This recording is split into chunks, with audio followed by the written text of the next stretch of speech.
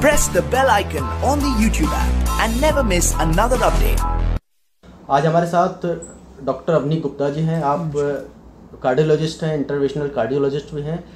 Doctor साहब, स्वागत है आपका। आप रिजेंसी में सेवाएँ दे रहे हैं। आप गोल्ड मेडलिस्ट हैं। ना जाने कितने आपके पास उपाधियाँ हैं, कितनी सारी डिग्रियाँ भी आपके पास हैं। और सबसे अच्छी बात है, आप सो हम्बल हैं। मेरे एक रिक्वेस्ट पे आपने यस किया ये मेरे लिए बहुत बड़ी बात है। डॉक्टर साहब स्वागत है आपका हमारे चैनल पर थैंक यू उपदेश डॉक्टर साहब मैं आप मेरे को जो पता चला कि सबसे पहले और सबसे अधिक आपने इमरजेंसी एनजियोप्लास्टी की है क्या है एनजियोप्लास्टी देखिए इमरजेंसी एंजियोप्लास्टी जिसे हम लोग मेडिकल लैंग्वेज में प्राइमरी एंजियोप्लास्टी कहते हैं ये हार्ट अटैक का विश्व में सबसे अच्छा उपचार माना जाता है। जी। और कानपुर में ये सुविधा बहुत ही कम सेंटर्स पर उपलब्ध है और हम लोगों का सेंटर जो रिजेंसी हॉस्पिटल है उनमें से एक है। तो इसमें हम लोग हृदय हृदयाघात या जो हार्ट अटैक के पेशेंट होते हैं उनकी उसी समय आ, कुछ घंटों के अंदर ही जो विंडो पीरियड होता है बेसिकली गोल्डन आवर्स कहलाते हैं। उन गोल्डन आवर्स में उनकी तुरंत इमरजेंसी में एंजियोग्राफी करते हैं चाहे वो पेशेंट्स किसी भी समय आए हों दिन में या रात में। और अगर उसमें कुछ ऐसा क्रिटिकल ब्लॉकेज निकलता है जिसे तुरंत उपचार की ज़रूरत है तो उसे वहीं पर उस, तुरंत उसका उपचार कर दिया जाता है।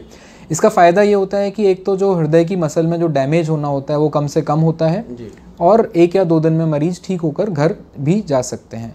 इसके रिजल्ट्स काफ़ी अच्छे हैं हम लोगों के सेंटर में और अभी तक ऑलमोस्ट सभी पेशेंट्स इस जिन पर ये प्रोसीजर किया गया है वो अच्छा कर रहे हैं। अच्छा डॉक्टर साहब थोड़ी सी मैं अगर आपसे बात करूँ थोड़ी सी दूसरी फ़ील्ड जैसे हमारे जो प्रधानमंत्री जैसे जिन्होंने डिजिटलाइजेशन पर काफ़ी काम किया डिजिटल इंडिया पर काफ़ी काम किया क्या हृदय से जुड़ी हुई डिजिटल कोई क्रांति आई है? बहुत सारी चीज़ें हैं जिसमें कि हृदय की बीमारियों पर भी डिजिटलाइजेशन बड़ी हो रहा है। मशीनें देखते हैं क्या नई टेक्नोलॉजी है थोड़ा सा देखिए बहुत सारी नई नई चीज़ें आ गई हैं जैसे एंजियोग्राफी और एंजियोप्लास्टी की जो टेक्निक पहले थी उसमें काफ़ी रिफाइनमेंट्स हो गए हैं।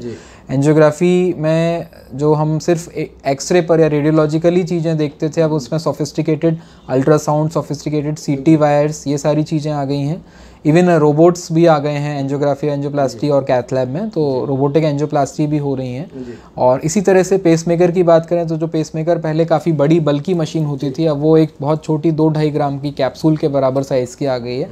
और मुझे गर्व है कि हम लोगों ने अपने कानपुर में इस तरह का प्रोसीजर किया है जो कि शायद पूर्वी उत्तर प्रदेश में पहला प्रोसीजर है अपनी तरह का।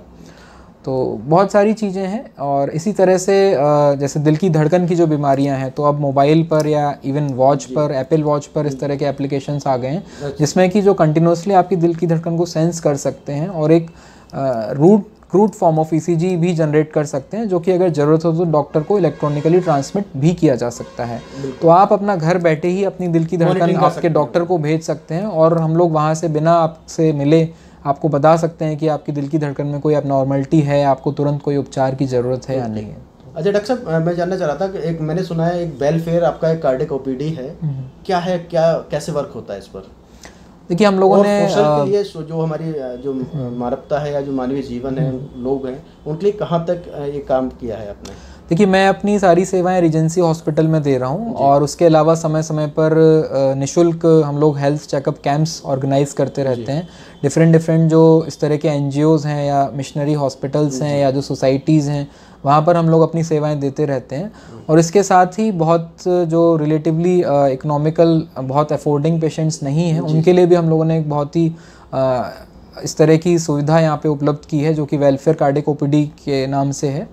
तो ऐसा कुछ नहीं है। मतलब अफोर्डेबिलिटी सबके लिए होनी चाहिए एंड हार्ट सभी के लिए इम्पोर्टेंट होता है। सबके हृदय का ख्याल रखना उतना ही ज़रूरी है जितना कि हम लोगों का। अच्छा डॉक्टर साहब जो कोई हार्ट पेशेंट है जैसे किसी परिवार में हार्ट पेशेंट है थोड़ा सा डर लगता है कि यार हमारे घर में कोई हार्ट पेशेंट है तो उसकी जो देखभाल है वो कैसे की जाए? देखिए सबसे ये सबसे सबसे ज़रूरी है कि आपको जो डॉक्टर देख रहे हैं उनकी सलाह आपको ज़रूर माननी चाहिए। अगर डॉक्टर ने कहा है कि 24 घंटे में आपको डेढ़ लीटर पानी पीना है या आपको हफ़्ते में तीन बार अपना वज़न करना है या हफ़्ते में चार बार अपना ब्लड प्रेशर चेक करना है खाने में कितना नमक खाना है तो ये छोटी छोटी सलाह डॉक्टर देते हैं। बट इन पर अमल करना मरीज़ से ज़्यादा जो मरीज़ के साथ के रिश्तेदार हैं या जो केयर टेकर्स हैं उनका फ़र्ज़ बनता है। जरा सी भी कोई दिक्कत लगती है मरीज़ को तो हमें तुरंत डॉक्टर के पास लेकर उनका उचित निदान करना है और अगर ज़रूरत है तो उपचार करना है। हार्ट की बीमारी से डरने की बिल्कुल ज़रूरत नहीं है, क्योंकि हृदय की बीमारी का उपचार पूरी तरह से उपलब्ध है। ज़्यादातर बीमारियाँ इस तरह की हैं जिनका कि उपचार पूरी तरह से किया जा सकता है, और अगर हाँ कुछ बीमारियाँ ऐसी हैं जिनका उपचार पूरी तरह से संभव नहीं भी है तो भी जो आज मेडिसिन उपलब्ध हैं या जो टेक्नोलॉजी है, उससे हम मरीज़ को काफ़ी हद तक नॉर्मल लाइफ जीने के लिए सपोर्ट कर सकते हैं उनकी सहायता कर सकते हैं। और कई बार अगर बीमारी इन सब चीज़ों से ठीक नहीं होती है तो हमारे पास और भी ऑप्शंस रहते हैं। सर्जरी का ऑप्शन रहता है बाईपास का ऑप्शन रहता है और इवन हार्ट ट्रांसप्लांट का ऑप्शन भी रहता है। अच्छा डॉक्टर साहब बस एक आपसे लास्ट क्वेश्चन पूछना चाहेंगे। अगर आप यूट्यूब के माध्यम से जो हार्ट पेशेंट है या एक लोग हैं एक क्या मैसेज देना चाहेंगे? देखिए मैं सबको यही मैसेज देना चाहूँगा कि हृदय हमारे शरीर का एक बहुत ही अनमोल और कोमल अंग है। छोटी से छोटी इंसल्ट भी हृदय के लिए बहुत नुकसानदायक साबित हो सकती है। आपका हृदय है आपका दिल है आप ही का फ़र्ज़ बनता है कि आप इसका ख्याल रखें दूसरों पर निर्भर ना रहें। उस दिन का इंतज़ार ना करें कि और लोग आपके हृदय का ख्याल रखना स्टार्ट करें। अगर आप शुरुआत से ही अपने हृदय का ख्याल रखेंगे अपना खान पान अच्छा रखेंगे संतुलित आहार लेंगे नियमित व्यायाम करेंगे तनाव से दूर रहेंगे और जो बुरी आदतें हैं जैसे स्मोकिंग अल्कोहल इन सारी चीज़ों से बच कर रहेंगे। और सबसे इंपॉर्टेंट कि अपने डॉक्टर की सलाह मानेंगे जो दवाइयाँ बताई हैं उनको रेगुलर टाइम इंटरवल पर लेंगे तो शायद आपका हृदय हमेशा आपके साथ बना रहेगा। बहुत अच्छी बात कही डॉक्टर साहब ने कि हृदय की आप सुरक्षा सुरक्षा कीजिए टेंशन ना लीजिए स्वस्थ जीवन जिए योगा कीजिए सब कुछ कीजिए और अपने हार्ट को सुरक्षित रखिए। फिर किसी दिन हम लोग फिर किसी दिन फिर बात करेंगे। तब के लिए नमस्कार। नमस्कार।